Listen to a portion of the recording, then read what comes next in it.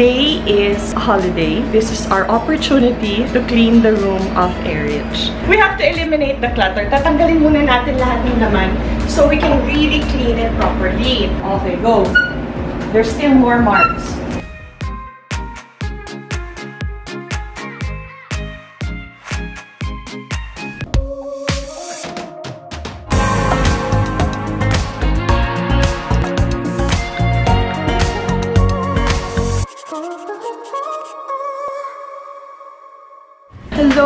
Everybody! Welcome back to my channel. Today is a holiday, so no classes. Pag walang pasok, this is our opportunity to clean the room of Erich. Kasi alam naman natin lahat that our kids are doing online school and the minute they wake up or the minute Erich wakes up in the morning, she has to take a bath right away, dress up, and then pagkatapos nun, eh, diretso na siyang magka-class ng 8.40 in the morning. So there's no opportunity na mag-vacuum or mag-clean ng room niya until matapos yung school niya ng 2.40 ng hapon. After which naman, marami na ibang ginagawa. So parang konting linis-linis na lang, hindi talaga nag-deep clean. You know, yung totoong linis, ang hindi na, hindi na nagagawa yung totoong linis because busy kapag weekdays. So, tatlo ang online students ko dito sa bahay. Claudia College, Leon High School, Erich Grade School. So, sila, eh, kanya-kanyang kwarto sila para they have their own peace and quiet and they can concentrate. Pag yan ang nangyayari, the best time to clean is during holidays na walang pasok o hindi kaya during weekends. So today, I'm going to share with you how we do it on a holiday, how to clean a children's or a child's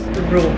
Join me today! The first thing that we need is to gather all our equipment. We will open the purifier to purify the area. Of course, I have my vacuum. I've always used Rainbow and I've had this since dalaga pa talaga ako. Hindi ito mismo, no? Siguro upgrade every 10 years. This is my favorite vacuum because all the dust and the dirt, it falls on water. And then, before anything else, we do some disinfecting. Okay, so what we're going to do, yung magdi-disinfect na kami ng room habang magtatanggal kami ng clutter. Okay, so first order of business will always be Erich's online classroom. This is where Erich attends her online classes. So last year, we bought this from a mommy friend, itong desk na to. Because before, she really didn't need a desk kasi all day in school. Tapos kapag naman siya eh, when she does her homework, it's always in our big dining table. So we had to buy her this chair that's good for her back and her posture because she's in class online sitting down the whole day. So the first thing to do is to disinfect the desk. Oh, you're very messy. Hi! Hi. Okay, so she just woke up and today's her chance to help clean. So first we gather all our good mga pamunas. Important sa akin ang good pamunas. And then I usually have a different kind of disinfectant spray but this one I like this is really all not natural. So we'll do it first. So what we will do is portion by portion, top to bottom. So we have to remove it ah. We have to eliminate the clutter. Tatanggalin muna natin lahat ng laman so we can really clean it properly. So we going to disinfect. Okay? Ganun lang yan. So easy. And then, clean. Ganda. So, you know, you choose a spray or that's, you know, good disinfectant that kills the germs and the viruses. And then, yung mabango pa. So, today, it's lemon scent. Si Erich kasi, every week, meron siyang parang bagong mga drawing-drawing. So, this is the best opportunity before it gets worse. Once a week to check for it, scrub it out. Sabi ko nga kay Erich, you know, you treat your desk the way you would in school. You have to keep it clean, you have to keep it neat. Kasi part of the lessons mo na yun, di ba? Part of your grades yun. Cleanliness, neatness. Ayan, okay. So, lahat ng banyo namin, meron akong ganito. Meron kaming maliit na palanggana na merong uh, Scotch Brite. Kasi kailangan tanggalin natin yung mga paint-paint. Ayan. See that? Ayan. O, oh, ganyan na yan. So, tanggalin na natin bago grumabe pa yan.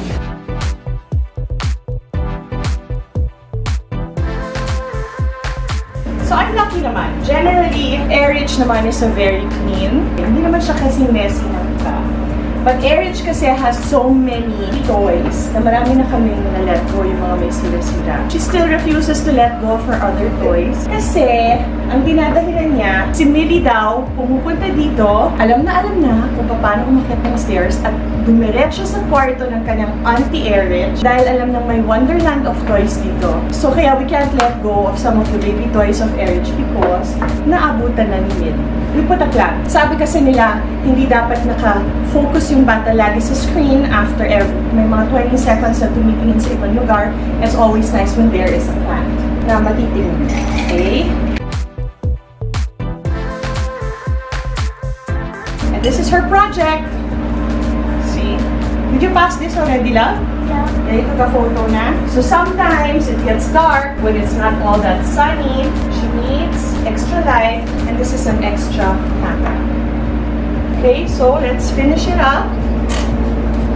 I can see some crayons, dental pen marks, pencil marks. Erich loves to create with her hands. She likes slime, she likes clay. What else do you like, Erich? Painting, sketching. So hindi naman maiiwasan. Because, you know, we want her to be creative and we want her to be able to really express herself through her art. Alam mo, bata pa lang ako, gusto-gusto ko na itong ginagawa. When I start to clean, talagang ibig sabihin nun, is-is. Mag-iis-is ako. So, I love doing this. So, we're almost done with our desk. Magtatapo na tayo ng mga eraser. wait, wait, wait, okay. Say hi first. Oh no! Houston, we have a problem. Erich, what happened? Look, how dirty! Now we need a black bag. Okay, now you see this? I don't allow this. So we're going to start throwing. Erich, come here. We don't need this baby toothpaste. Erich, come here. Tell me what works and what doesn't work here. We're gonna throw and scrub. I'm going to teach you. Of course, this works, right? Okay, put this back in its proper place, the two crayons. Because you did this, you have to clean it. Okay, no, no, no. Clean it. Alright. Okay, go. Get the scrub. From now on, you're going to be in charge of your desk. Come on, squeeze it some more so it doesn't get so watery. Come here, let me show you how. You have to squeeze it so it doesn't get too liquid. Then you, you use a scrub, the green part. Because we're removing crayon mark. You see this? You see what I'm doing? You have to put force because to remove this, can you see that the stain is getting out? You're gonna do this every week so that you won't anymore mess it up. Okay, I'm gonna dry it a little bit so you can see. Get a new one, squeeze. Okay, go. There's still more marks. You have to do this every week yourself because if you know that you're the one who's gonna clean it, you're not gonna mess it up like this, right? Because, oh no, you mean I'm gonna clean it? So let's not mess it up. And you know what? May environment kasi na mas maganda sila mag-concentrate. If it's clean. Di ba anak? Pag nalinis, masarap mag-work. Alright, so we are now at the part where we have to clean her toy shelves. Okay, so I'll explain. Erich before always had sipon, always had ubo, so she had colds and cough. Kala namin she was asthmatic. So she was always naka-nebulizer, she was always on antihistamines, she was always on mga gamot para sa asthma, and she even had medication na she was taking for many, many, many months. Until, you know, we consulted our pediatrician, referred us to an allergy specialist for children. So, nagpa-allergy test si Erich after, you know, kinayat muna nila yung kanyang allergy or yung kanyang asthma and ubo and ganyan. When she was totally without colds and cough, we took that opportunity kahit during the pandemic na yon to have her take an allergy test. And when she took that allergy test, we realized kung ano ang allergies pala niya that were causing all of these colds and cough and, you know, nighttime snoring and all of that. So we realized that she was highly allergic to dust mites and dust and cockroach. Can you imagine? All the while we thought, ay, allergic siya sa aso, allergic siya sa pusa kasi she loves her cat, uh, allergic siya sa tsokolate, allergic siya sa kung ano-ano, hindi naman pala. It was dust mites. And I will show you here what dust mites are. I'm going to show you kung paano kung ang anak niyo man ay may maraming allergies and you still cannot tell kung ano yung allergy nila. It could really be dust. It could really be dust mites that you can find in your bed, in your pillows, in your comforters, in your sofa set, at sa mga stuffed toys. Can you imagine that? And Erich loves her stuffed toys. You see that? She really loves her stuffed toys because there's a story to tell with each one of them. It's either it was given to her by somebody she loves, like ito. This one, you won this in Santa Monica Pier in the State, in the parang the carnival, diba? And of course, this one was given to her by someone really, really special to her heart. Yan rin. Bigay sa kanya lahat yan. So, tinatandaan niya yan. And she doesn't let go. Sabi sa amin ni Doktora, oh, no more stuffed toys. So, paano yun? So, ginawa ko, binalot ko siya. But, nung binalot namin, na-realize ko, pag binabalot mo siya, ayan o, hinahawakan ko, napaka-dusty naman rin. So, I'm gonna show you what I do. And what I have discovered, pwede ko palang i-washing machine ang stuffed toys ni Erich. And what makes this washing machine very special for cases like what Erich has, I will show you later. Tatanggalin ko itong mga stuffed toys, okay? From the plastic, alam mo, just by doing this, nangangati na ako. I feel na nangangati na yung aking ilong. Kasi kahit na nabalot ko siya, ah, sobrang dusty. I'm gonna make Erich choose. What can she live without? What does she need to really see na naka-expose dito? And for the rest, I will keep it in a parang a big multi, yung ano, yung plastic na lalagyan. Yung parang orokan. We're gonna vacuum it.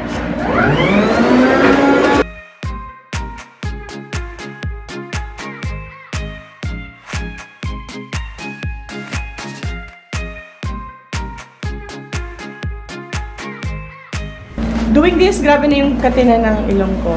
Do you want to keep, right? Yeah. Okay, so to keep, meaning, she leave it in the shelf. Okay, get the small ones that you want to keep that Millie plays.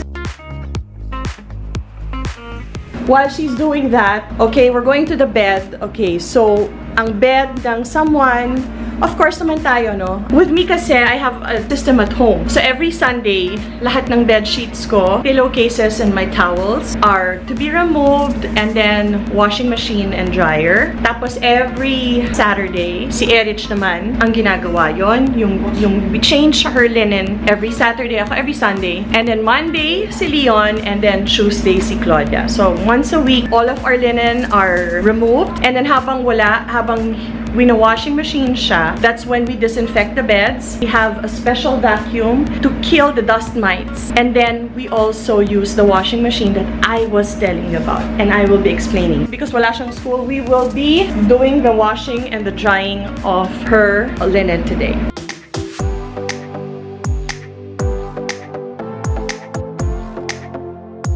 kahit ilang beses pala natin talaga siyang linisin, talagang dust collector talaga siya.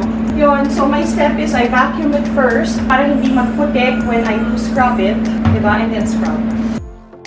Nakita mo yung namumuo talaga yung ano niya, oh, so, yung dust niya sa gilid. So it's really not good for the kids.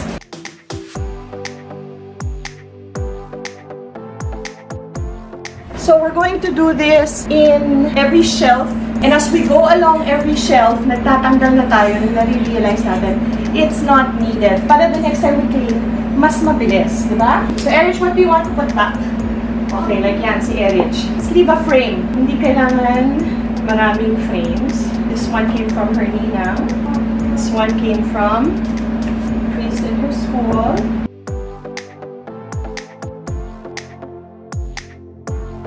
She already has like a reading corner here. So, we're going to fix it more. Ah, dami pa. so, we've put Erich's stuff in mga lalagyan nila, okay? So, every so often, we really have to check on it and see kung meron ng dapat itapon. So, katulad nito, this is her bin for her mga Wonder Woman, basta yung mga dolls na ganito. Okay, so even if she's 9 years old, I don't let go of it because sometimes it's good for her to play with those things. Meron siyang role-playing. This corner is all her toys when she was really less than a year old. So ito pang games. So why can't we let go of it? Because Millie knows this corner very well. So ito yung pinaka-lowest shelf. And when she comes into the room, alam niya na kaagad. Pupunta siya dito dahil andito yung mga laruan that's age-appropriate sa kanya. And then ito rin yung mga books. Okay, so nilinis na namin. to isa-isa. So she loves this corner so much, so we're not gonna let go of it. We're gonna go ahead and vacuum her blinds niya. Okay, so kaya itong pinili namin. Before she had curtains and all of that. Kaya ito na pinili namin because nga para mas madaling i-vacuum. Kailangan kasi si Erich everything bina-vacuum we have been um, scrubbing the shelf. Now, itong mga bins ko, ang gagawin ko, I'll go through it before putting back. Tapos doon, makikita mo, katulad naman ganito, mga hindi na kailangan. Project niya, hindi na kailangan, you throw. So while we're doing it, we're choosing yung mga things na hindi na kailangan. We can, one by one, start throwing.